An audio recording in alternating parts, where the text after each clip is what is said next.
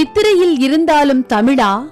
சித்திரை தானடா? உமக்கு தமிழ் புத்தாண்டு என்று சித்திரை திருநாளே வருக எங்கள் சிந்தையில் மகிழ்ச்சிகள் பெருக. நாங்கள் முத்திரை பதித்து வாழ்ந்திட அனைத்து துறைகளும் உயர்ந்து அகிலத்தையும் ஈர்த்திட அதிகாலையில் எழுந்து முக்கணிகளின் படையலோடு இல்லம் மகிழ இறைவனை வணங்கி இன்முகத்தோடு வரவேற்போம் சித்திரை திருநாளாம் தமிழ் புத்தாண்டை. கோடை வெயில் தகிக்க கொன்றை மலர் பூத்து குலுங்கி வரவேற்க ஏர்பூட்டும் உழவனின் ஏற்றமிகு நன்னாளாக போற்றப்படும் சித்திரை மாதத்தின் சிறப்பென்ன. நம் முன்னோர்களின் சிந்திப்புகளுடன் கூடிய பதிப்பு என்னவென்று பார்த்தோமேயானால் சூரியனின் இயக்கத்தை அடிப்படையாக கொண்டே தமிழ் மாதங்கள் பனிரெண்டையும் பகுப்புடன் தொகுத்திருக்கிறார்கள். அதனால்தான் தமிழ் மாதங்கள் சூரிய மாதங்கள் என்றும் அழைக்கப்படுகிறது.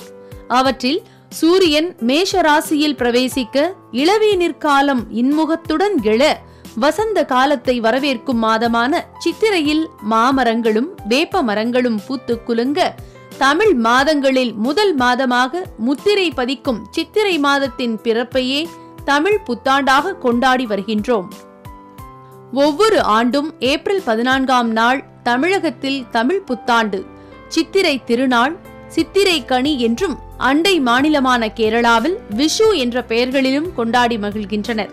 தமிழ் புத்தாண்டை ஒட்டி மக்கள் இல்ல தூய்மையுடன் உள்ள தூய்மை கொண்டு தங்கள் இல்லங்களில் மஞ்சள் பூசி மாவிலை தோரணம் கட்டி புத்தாடை அணிந்து புது பொலிவுடன் இறைவனை வழிபட்டு ஒற்றுமை நிலைக்க உறவினர்கள் படைசூழ பல பதார்த்தங்களுடன் உணவருந்தி அதில் வேப்பம்பூவை சேர்த்து உண்பது இப்பண்டிகையின் கூடுதல் சிறப்பாகும்.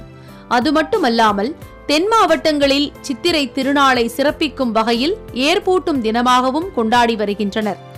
இவை கிராமத்திற்கு கிராமம் மாறுபட்டாலும் சித்திரையில் விதை விதைத்தால் சிறப்பாக விளையும் என்று காலம் நேரம் கணக்கிட்டு குடும்பத்துடன் புத்தாடை புனைந்து உழவனின் உற்ற தோழனாம் எருதையும் ஏர் உழும் கருவிகளையும் வணங்கி நவதானியங்களை கலந்து கழனிகளில் விதைத்து களம் நிறைய வேண்டி களிப்புடன் கொண்டாடி வருகின்றனர். சித்திரை மலர் மலர சிந்தனைகள் துளிர தரணியெங்கும் முத்திரை பதித்து வெற்றிகள் பல குவிய.